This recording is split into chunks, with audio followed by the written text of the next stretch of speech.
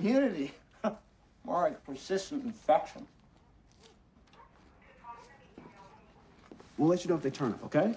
Does that sound good? What, do you guys have somewhere to be? He's got to feed his dog. Seriously, his dog's deaf. You got to stomp on the ground so you can feel that vibration.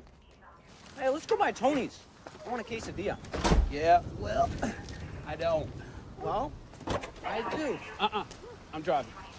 Get rid of that, please.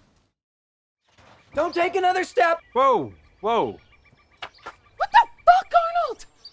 You know this guy? He's Patrick. Who the hell's Patrick? So does that relic even work? It works. Used it just the other day. I can't believe you pointed a loaded gun at us. I was worried about you. worried. Why? How do you unload this? Uh, let, let me do that. Don't worry about it. Oh, actually, you might know this. Arnold was wondering, does ammo expire? I was just kidding, Mish. No, you weren't. You asked. You me- know, it's odd. I've never known Clem and Barb to rent out their cabin. Well, you haven't been up here for a few years.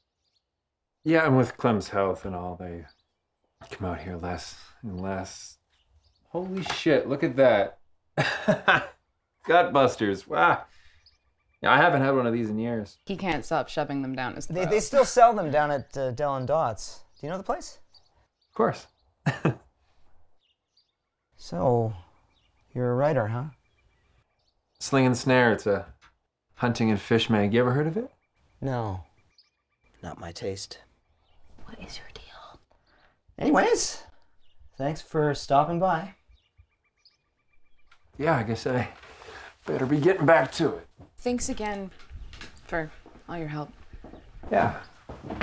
Good luck with your book. Yeah, you as well. Good luck with your. What the fuck, you psycho! Is that He's not 'cause I who he was says he is. What do you mean he's You not who he flirting says with he him? is? So who is he? The king of cottage country. The fuck does that mean? My wife's on the shy side. Never once set foot in Kansas City. Too loud. Mr. Kane, you might have mentioned that you already sold over your half of the land to the railroad. I knew how it would look. You have to understand, I only want what's best for my brother. And what is that? We thought Jeremiah was dead. The Army sent a telegram that he'd been killed in Virginia. An administrative error, it turns out. We didn't know that.